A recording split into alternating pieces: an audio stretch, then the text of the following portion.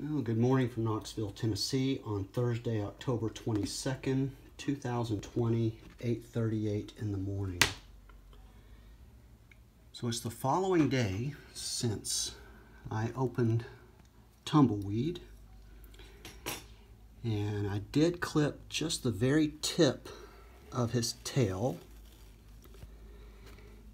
but I haven't um, clipped that other damaged area. It has somewhat revived. So as long as it doesn't change color, I'm going to give it time to heal. And I'm hoping that it comes back. It does look a little dark. My hope is that that's just bruising. You can see the tip that's gone. And that was just a flat piece of tissue, so I cut it and put Neosporin on it. There was no blood. And I am usually not into the brown gopher snakes. And I think he is a Sonoran gopher. I'm still not sure if he's a bull or a gopher. But I think he is just really, really pretty. Let me see if I can get out of that light.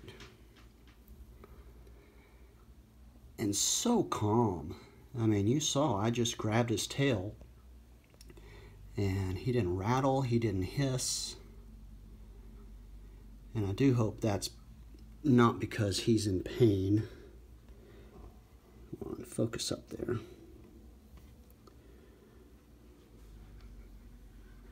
Sorry, it's hard to get this when I'm not in the light. So there it is.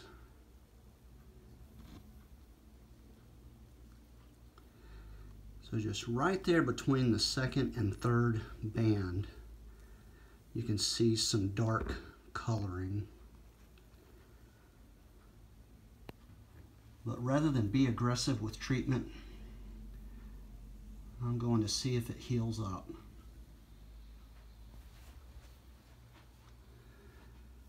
So that's uh, tumbleweed this morning. Either a New Mexico Sonoran gopher or a New Mexico bull snake. I think as he grows, we'll be able to tell a bit more from his rostral scale. Oh, and uh, the seller refunded half my money last night. So big thumbs up to him. Um, again, just showing more concern for the snake and my satisfaction than the money. There's another view of that tail. That tip is no big deal. I don't think you'll be able to tell that as he grows. I just don't want him paralyzed from that third band down. So we'll see. Well, have a great Thursday, guys. Thanks for tuning in, and I'll keep you updated.